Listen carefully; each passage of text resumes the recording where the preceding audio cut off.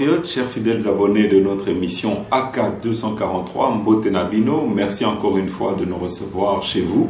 Aujourd'hui, comme chaque fois, nous allons commenter l'actualité à Mbokanabiso et pour cela, nous avons trois points que nous verrons pour vous. Le premier point, c'est aujourd'hui, on peut dire la formation de l'axe Katumbi Kabila qui se met progressivement en place avec les actions comme ils avaient promis avant les élections pour déstabiliser Mboganabiso. Mais tout ça, vous verrez les images et vous verrez vous-même en tout cas qu'aujourd'hui, il y a des actions qui sont menées pour déstabiliser le pays. Et tout ça parce qu'ils savent que si nous allons aux élections, ils n'ont aucune chance de pouvoir l'emporter face au président sortant, le président Félix Antoine Tshisekedi. En tout cas, le Congo est devenu un chantier et ils le savent et face à la popularité du chef de l'État, et nous l'avons vu dans tous les sondages en tout cas, c'est que le chef de l'État vient toujours en tête. Même quand c'est des sondages qui sont organisés par l'opposition, c'est toujours le chef de l'État qui est donné en tête. Et donc ici, vous devez savoir que le chef de l'État, Félix-Antoine Tshisekedi, jouit d'un capital sympathie énorme auprès du peuple congolais. Et donc euh, aujourd'hui, il y a l'axe du mal qui est en train de se mettre en place. En deuxième point, nous reviendrons avec euh, le désordre et ce qui est en train de se passer au Kwilu. Vous savez que dans le Bandundu, il y a quasiment une guerre civile, si on peut dire ça comme ça. C'est que nous avons des tribus qui sont en train de s'affronter. Et ici, on est en train, depuis plusieurs mois, de sonner la sonnette d'alarme en disant que ce n'est pas normal ce qui est en train de se passer là-bas. Il y a une manipulation, il y a une main noire qui est derrière. Mais nous tenterons en tout cas d'y voir plus clair et de vous donner des informations en notre possession parce que tout ça est coordonné et c'est à l'approche des élections que nous sommes en train de voir plusieurs forces se mettre en marche pour essayer de contrer le chef de l'État. Vous verrez vous-même, c'est que chaque fois que nous voyons par exemple un coup d'État dans un pays étranger, vous verrez que les communicateurs d'ensemble pour le changement, eux aussi, sont en train d'appeler à ce qu'il puisse y avoir un renversement ici au pays. Et donc, ici, il n'y a pas de fumée sans feu. Vous devez savoir qu'il y a une certaine coordination qui veut aller dans le sens du chaos et ils en profitent, c'est qu'ils utilisent le bluff, ils essayent également de insérer au sein de la population la crainte et la peur. Et donc ils sont en train de distiller cette crainte et cette peur. Mais en tout cas c'est l'occasion pour nous pour rappeler la population à être vraiment vigilante et ne pas céder ni à la panique ni aux forces du mal. En troisième point et nous terminerons par là, nous terminerons par les travaux qui sont en train de voir le jour un peu partout en RDC. Vous savez qu'aujourd'hui, le Congo est devenu un chantier. Vous le verrez notamment au Lualaba où Madame Fifi Masuka a lancé plusieurs chantiers. Et ici, c'est l'occasion pour moi peut-être de pouvoir vous dire que Madame Fifi Masuka, pour le moment, est la gouverneure qui fait le plus pour Fachi. C'est celle qui soutient le plus la vision du chef de l'État, Félix Antoine Tshisekedi. Mais nous n'aurons pas besoin de le dire. Nous allons vous le montrer et vous verrez vous-même que aujourd'hui, c'est visible, il y a des réalisations palpables qui peuvent témoigner pour Madame Fifi Masuka. Mais ici, nous devons être sincères, nous avons longtemps, dénoncé la léthargie dans laquelle euh, se trouvait euh, par exemple Kinshasa, dans lequel euh, nous pensions que le gouverneur avait abandonné cette ville, mais ici, nous sommes en tout cas agréablement surpris après trois mois d'absence, quand nous avons commencé à sillonner certains recoins de la ville de Kinshasa, eh bien, nous avons été agréablement surpris parce qu'il y a des chantiers qui sont en marche. Nous avons vu que des routes secondaires ont été réhabilitées. Il y en a d'autres qui ont été créées et nous vous mettrons en tout cas ces images-là et ça sera l'occasion pour nous de vous dénoncer également certains actes d'incivisme que nous avons rencontrés dans la ville, notamment des taxis qui s'arrêtent qui créent et qui peuvent bloquer trois bandes en plein boulevard. Je crois que c'est l'occasion pour nous de sonner la sonnette d'alarme pour que les autorités compétentes puissent en tout cas euh, rétablir l'ordre et puissent veiller pour que euh, de tels agissements et de tels comportements ne puissent plus se reproduire. Voilà, chers compatriotes. Alors, avant de commencer notre émission pour la bande Bandeko Oyo, pour découvrir Bisso, nous allons vous mettre la vidéo qui va vous indiquer comment faire pour nous soutenir et pour vous abonner. Voilà. Chers compatriotes, vous n'êtes peut-être pas encore membre de la grande famille de tous les abonnés de RDC Source Info. Pas de panique. Il n'est pas trop tard. Je vous invite à appuyer sur le bouton abonner. Appuyez également sur le bouton notification. Ça vous permettra, lorsque une de nos émissions sera mise en ligne, vous serez directement informé par YouTube. N'oubliez pas d'appuyer sur le bouton j'aime, ça nous donnera une bonne cotation auprès de YouTube et ça rendra nos émissions plus visibles auprès de nos autres compatriotes. Donc je répète, nous avons trois actions à faire. Le premier, abonnez-vous. Deuxièmement, appuyez sur le bouton notification et troisièmement, appuyez sur le bouton j'aime. Ainsi, vous ferez partie de ceux qui encouragent et soutiennent RDC Source Info et vous nous encouragez à continuer à vous informer. Voilà, chers compatriotes. Alors ici, vous devez savoir que nous avons reçu une vidéo d'un monsieur dont nous allons flouer les images. Vous verrez vous-même, c'est que ce monsieur est en train d'annoncer qu'il va commencer à balkaniser le pays et notamment l'Est et qu'ils vont commencer au Katanga. Alors, pour les personnes averties, vous comprendrez qu'en fait, ça veut dire que les tireurs de ficelles se trouvent au Katanga ou sont d'origine katangaise. Pourquoi est-ce que je dis cela? C'est que euh, nous vous avons dit qu'il y avait un axe qui avait été créé. Dans cet axe, vous vous souviendrez des émissions passées, nous avons dit ceci, c'est que euh, Monsieur Paul Kagame avait encouragé la réconciliation entre Monsieur Moïse Katumbi et Monsieur Kabila. Beaucoup à l'époque ne nous avaient pas pris au sérieux alors que nous avions eu des informations qui allaient dans ce sens-là, c'est que euh, la deuxième phase de cette réconciliation, c'était l'attaque de Bunagana, c'était la prise de Bunagana par les rebelles du M23. Tout ceci euh, avait été calculé et ils espéraient en tout cas que après cette réconciliation entre M. Kabila et M. Katumbi, ils espéraient que Fachi, qui était un petit peu euh, en difficulté dans les sondages, aurait été vomi par la population et que la population allait le vomir et allait encourager euh, l'attaque de Bunagana par le M23 parce que selon euh, leur calcul, il avait été vomi par la population. Mais malheureusement pour eux, c'est plutôt l'effet inverse qui s'est produit, c'est que euh, tous les Congolais comme un seul homme, se sont rangés derrière le chef de l'État et ont soutenu les initiatives du chef de l'État. C'est ainsi que nous avons vu,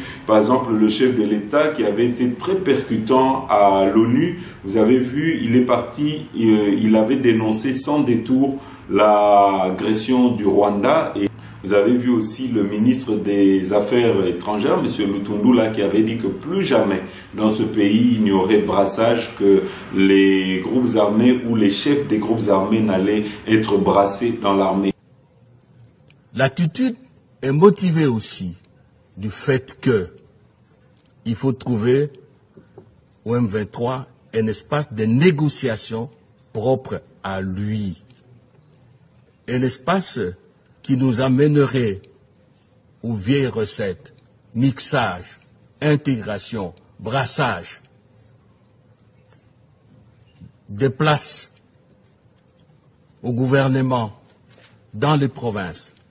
Laissez-moi vous dire, Madame la Présidente, Mesdames et Messieurs les ambassadeurs, qu'il n'en sera plus question en RDC.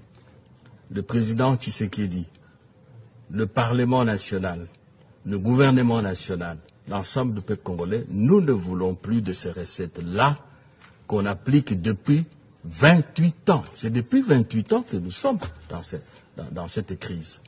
Il ne sera plus question de brassage.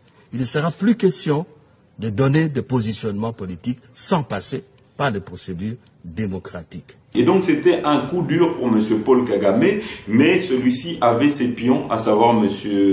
Kabila et M. Katumbi, qu'il avait déjà réussi à réconcilier. Et ça, c'était dans le but de l'agression Oyo Yambo Anabiso. C'est ainsi que vous verrez déjà vous-même, c'est qu'ils sont en train de continuer. Ils sont en train, depuis un moment, de prêcher pour la balkanisation et ils sont en train de jouer sur euh, la corde sensible, à savoir le tribalisme, à savoir la division et la division ethnique. C'est ainsi que vous avez vu vous-même au Kwilu aujourd'hui dans le Bandundu, il y a des guerres civiles, Nengobozo Mona. Mais euh, vous vous souviendrez également qu'il y a eu un militaire, il n'y a pas si longtemps que ça, avait sonné la sonnette d'alarme quand il avait été arrêté. Il avait demandé à voir le chef de l'État pour lui parler d'un complot imminent qui était en préparation. Je ne peux pas accepter que ce qui est arrivé à Mosée arrive à la peur des yeux. Lui, il a dédié le pays entre les mains de Dieu. Au stade de martyr, Là, c'est autre chose. hein. Ça, c'est le fond. la requête de la. Oui. Je sollicite devant votre commission une audience personnelle auprès du chef de l'État parce que je ne veux pas que ce qui arrive à Mosée arrive.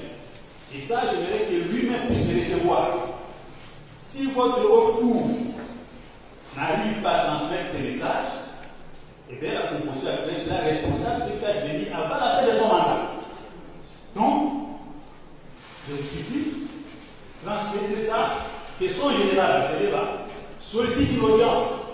Je ne peux pas dire à qui que personne, sauf à lui. Si on estime que ce n'est pas nécessaire, il n'a pas de problème. Comme vous le savez, j'ai un suivi dossier du musée et je crois que j'ai l'obligation, le devoir de protéger les chefs de l'État jusqu'au sacrifice. J'ai.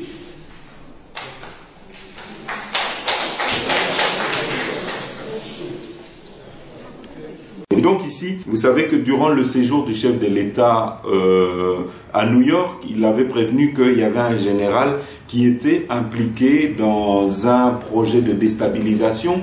Ce général s'appelle le général Philémon Yav. Il était en contact permanent avec monsieur James Kabarebe qui est chef d'état-major de l'armée rwandaise. Et donc ici, je crois que tout commence à devenir de plus en plus clair. Vous commencez à comprendre ce qui est en train de se tramer. Vous êtes en train de voir qu'est-ce qui est en train de se jouer contre notre pays. Et donc, euh, monsieur Philémon Yav, pour ceux qui ne le savent pas, et je vais vous le dire ici, est lié à monsieur John Numbi, le général qui est en fuite, qui est un proche de monsieur Joseph Kabila. Le général Yav, c'est arrivé pendant mon séjour ici à l'étranger. J'ai cru comprendre qu'il euh, était accusé par certains de ses collègues euh, de les avoir contactés au nom du Rwanda pour qu'ils puissent lever le pied et permettre au M23 de passer aisément et de prendre la ville de Goma. C'est ce que j'ai cru comprendre, mais bon. Les enquêteurs sont euh, à pied d'œuvre pour le moment. J'en saurai plus quand je serai euh, rentré au pays, Donc on parle de trahison là. Bien sûr. Et ici, dans cet axe que nous avons parlé, ces gens cherchent à déstabiliser notre pays parce que ils veulent récupérer le pouvoir par la force et ils ne veulent pas aller aux élections parce qu'ils savent que s'ils vont aux élections aujourd'hui, à l'heure actuelle, ils vont perdre. Alors ici, nous allons vous mettre d'abord une de leurs vidéos qu'ils ont sponsorisées dans lequel aujourd'hui, ils sont en train de mettre leurs pions en place pour déstabiliser Moranabiso avec euh, un monsieur qui se dit chef rebelle qui annonce en tout cas qu'ils vont balkaniser Moranabiso. Totieni bino ba image, Bolanda. na shie mujitayarishe juu tuko munjia. Tuko munjia na tuta basurprendre sa vile m23 iko na basurprendre kila siku. Non nous nous allons commencer à partir de tanganyika. Nous allons monter au maniema jusqu'au howele. Donc préparez-vous et organisez-vous aussi euh, car nous, allons commencer vers Moba. Nous, les gens de l'indépendance de l'Est. Et on ne veut pas allumer de feu. Mais nous allons nous défendre si vous n'arrivez pas à comprendre que nous demandons l'indépendance de l'Est.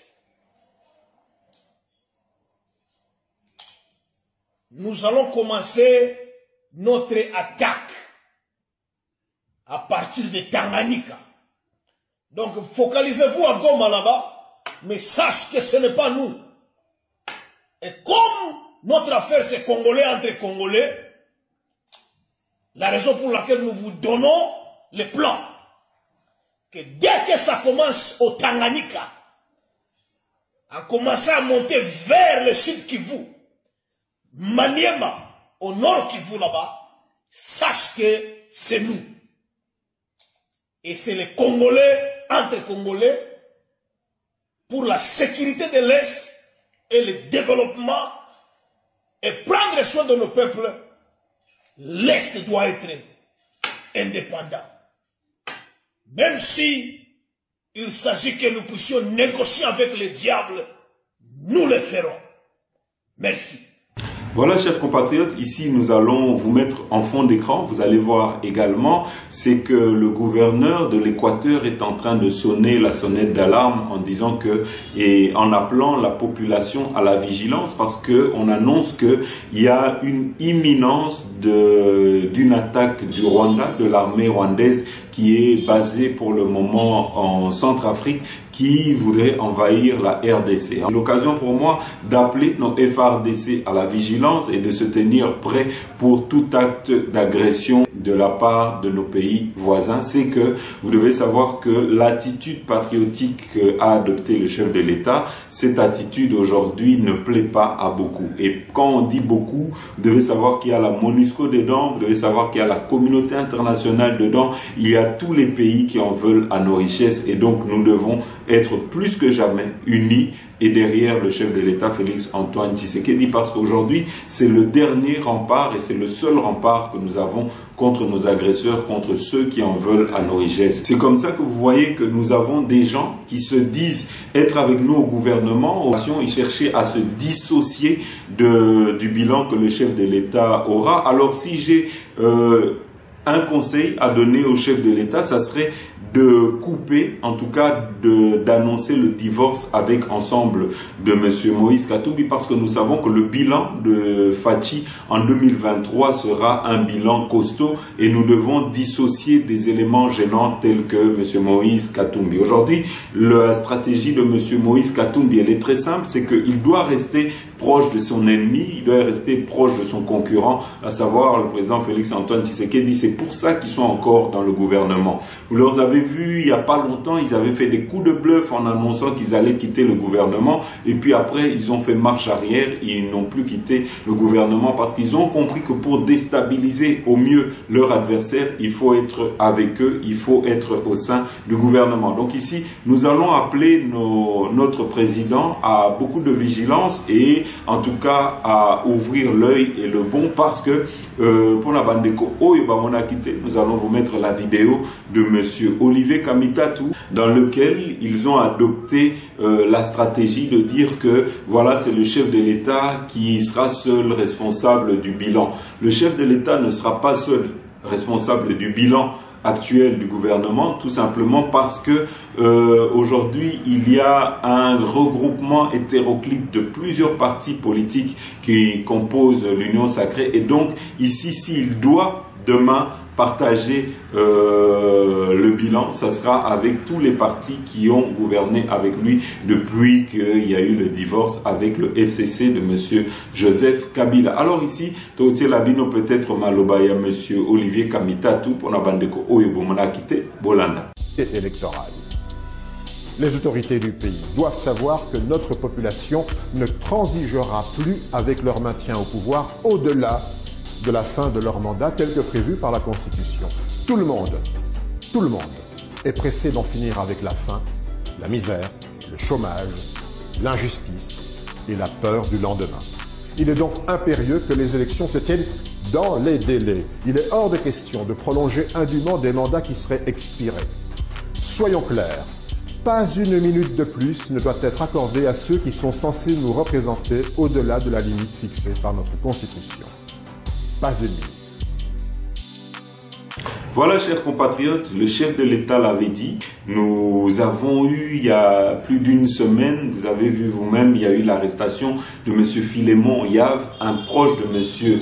John Numbi, général en fuite. Nous savons tous qu'il se trouve au Zimbabwe, mais nous avons un de ses fidèles lieutenants qui aujourd'hui se trouve à Makala, M. Philemon Yav, qui était en train de comploter avec l'ennemi, avec M. James Kabarebe. Et ici, c'est comme nous vous l'avons annoncé, c'est qu'il y a une force, il y a un axe de mal qui est en train de se créer pour déstabiliser Moranabiso et quand vous entendez des chefs coutumiers vous le dire, quand vous entendez la gouverneure du Kouilou qui va euh, dans les images que nous allons vous mettre déjà euh, sonner la sonnette d'alarme en appelant à la vigilance parce qu'il y a une main noire qui est en train de financer et de mobiliser pour qu'il puisse y avoir du désordre. En tout cas, nous devons être très prudents. Alors, nous allons vous mettre les images de la gouverneure de Kouilou qui est en train d'appeler à la vigilance. Alors, Awa, libino ba image, Bolanda.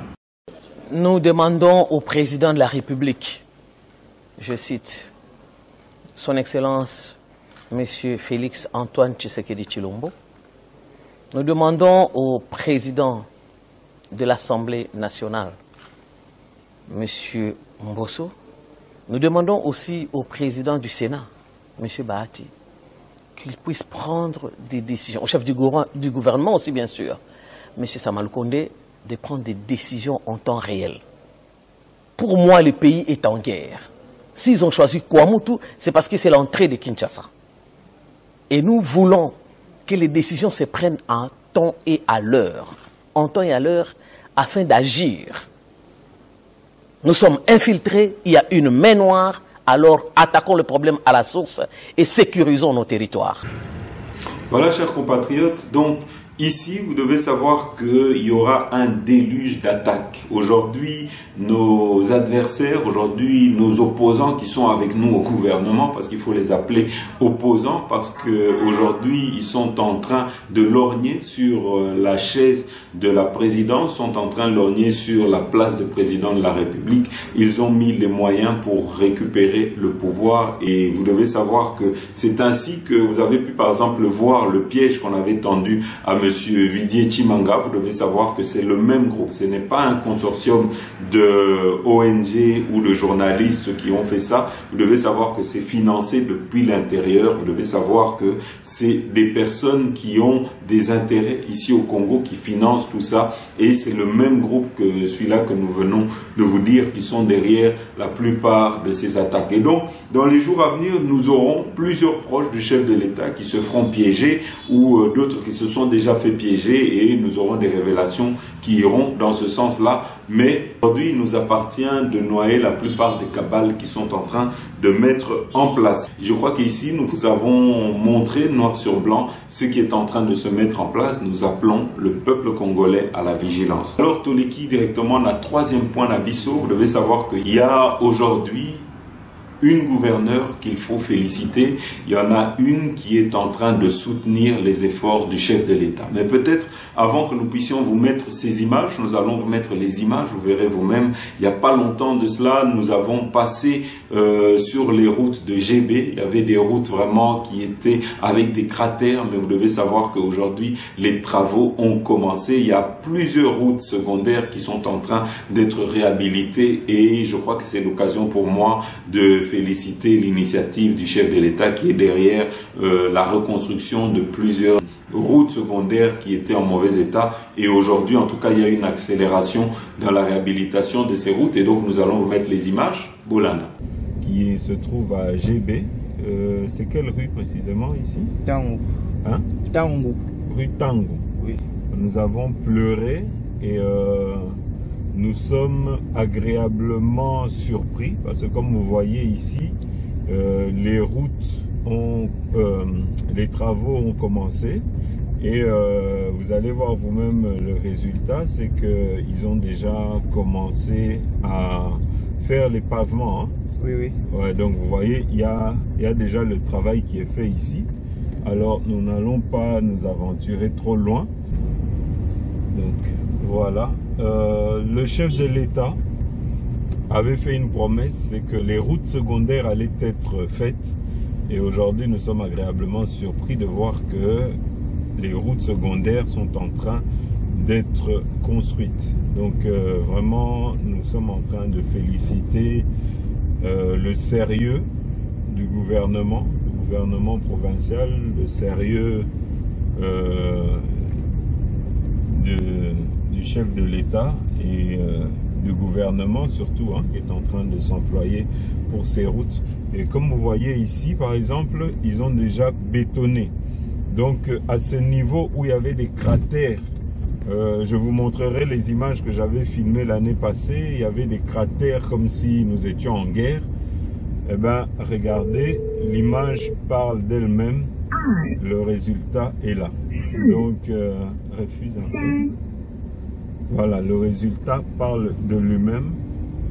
Comme vous êtes en train de voir, les choses sont en train d'avancer à bon train. Et euh, on, a, on fait aussi les, les, les trucs, hein, les, les dalles, hein, Oui, les- les comment on appelle les les, les caniveaux? Le caniveau, oui, c'est déjà Ouais, ça. Les caniveaux Ça ont été faits, derrière ouais, même les caniveaux. Oui. Donc si les caniveaux, si on surveille bien, euh, ça va éviter qu'il puisse y avoir des inondations également dans la ville de Kinshasa. Donc euh, voilà, c'était un petit reportage pour vous montrer qu'il y a un travail qui se fait sur le terrain. Voilà, chers compatriotes, ici nous en profitons pour dénoncer l'incivisme de nos taximens. Vous devez savoir que beaucoup d'entre eux sur le boulevard, mais ils le font dans toute la ville de Kinshasa, à plusieurs endroits. Ils ont créé leurs arrêts, stop, dans lesquels ils prennent des gens et souvent ils le font sur trois fils, quatre fils.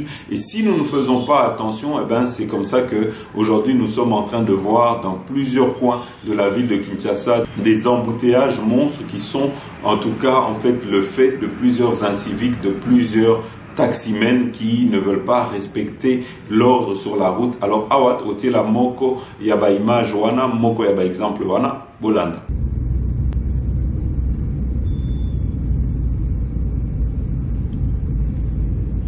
Voilà. Ici, les taximens bloquent à eux seuls plus de trois bandes. Et c'est comme ça tous les matins.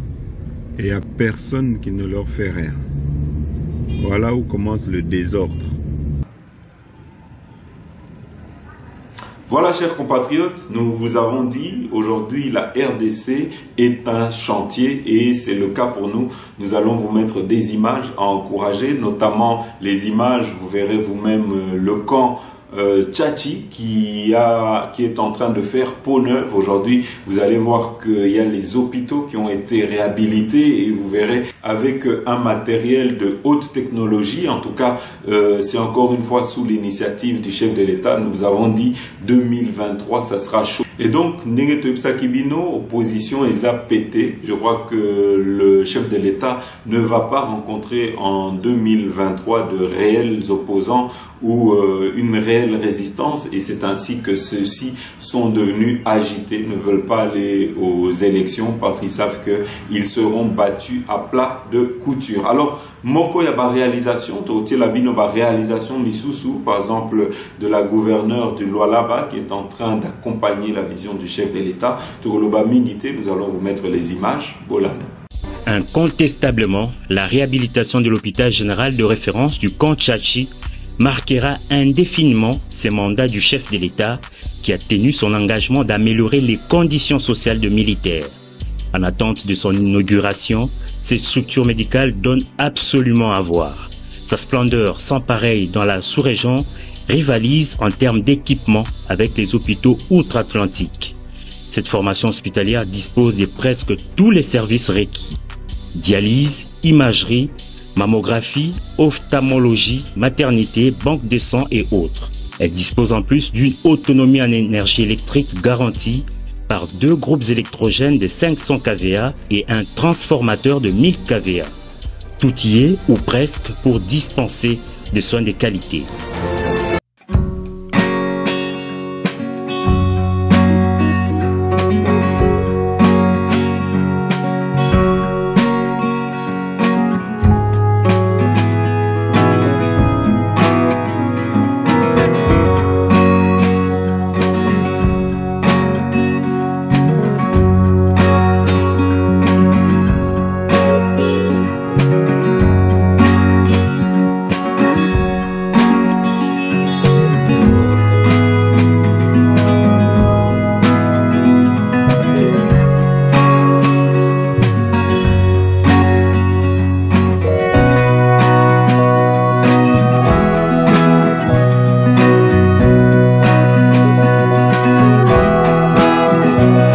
Scolaire ITP Tchachi et le lycée Tchachi aujourd'hui équipé en bancs et autres fournitures scolaires peuvent refermer les pages sombres des conditions difficiles d'études et de travail.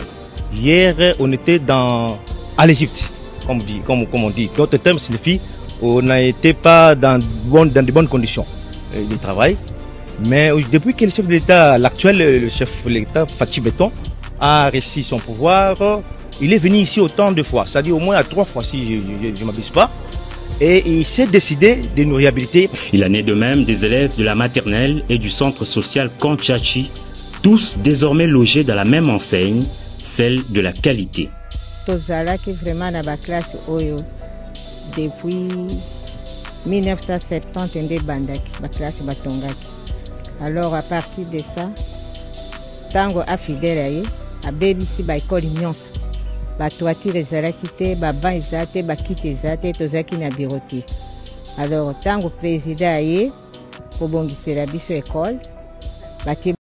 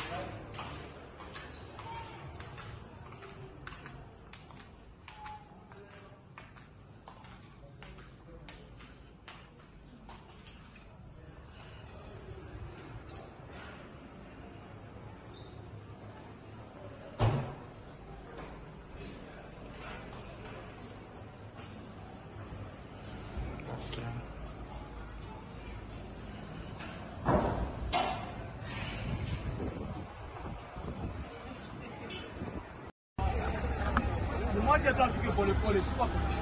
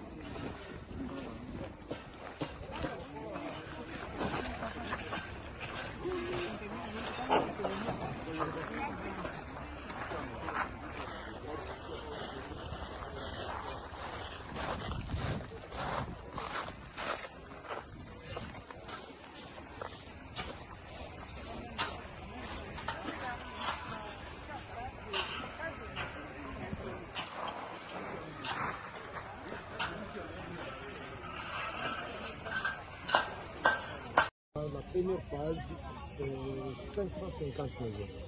Mais 550 maisons, des maisons de pratiquement environ 80 mètres carrés. Et dans cette partie ici, il y aura 350 maisons pour euh, un entrepreneur. Et de l'autre côté, il y a aussi, là vous voyez, il y a l'engin qui est déjà en train de préparer le terrain. Là-bas, on va construire dans la première phase 200 maisons. Et dans ce quartier, il y aura de l'électricité, il y aura de l'eau, les routes qui seront euh, construites ici, il y aura aussi un système de drainage. Donc il y aura un système de drainage. Ce sont des logements sociaux qui sont destinés à nos compatriotes les creuseurs. Les creuseurs, euh, par moment, ils ont quand même un peu d'argent, ils gagnent un peu d'argent, mais ils dilapident pas de manière un peu désordonnée.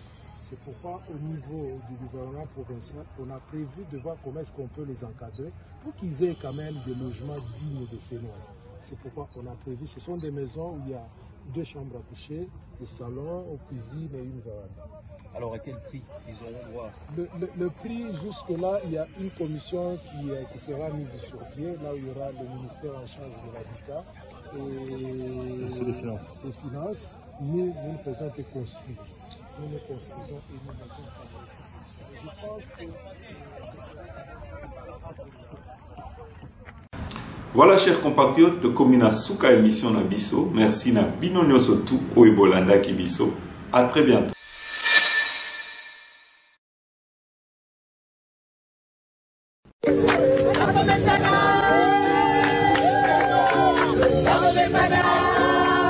Peso music. Oh mame, oh mame, oh mame, oh mame,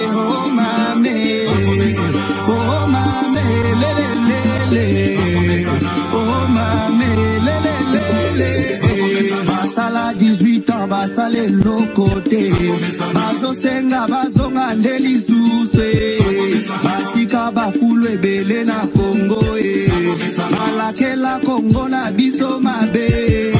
Bango balobaki kongo ekobonga te. Fachazi kongo apesi yango na nzambe okasaka binda yango esila e. Okende universite esila e. Basode muto musala kitoko. Okende kisangani musala kitoko. Kongo mobimba musala